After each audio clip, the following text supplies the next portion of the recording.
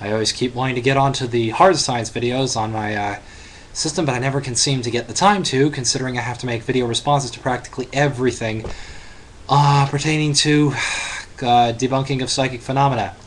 Once again, the $1 million challenge has problems with it.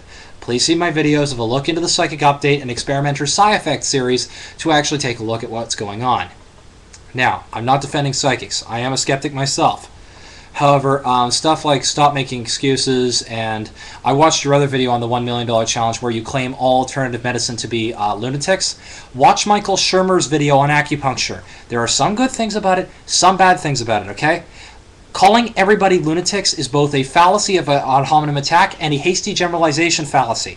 And the problem is that some people have been able to say that skepticism is bad for that. Um, it, you know, basically is is hollow argument because of the fact that sometimes critical thinking fallacies are used. Ray Hyman himself said that some of the most popular arguments against parapsychology are straw man attacks. So I'm just simply saying, be vigilant about your uh, arguments and try to be a little bit more careful. Thanks.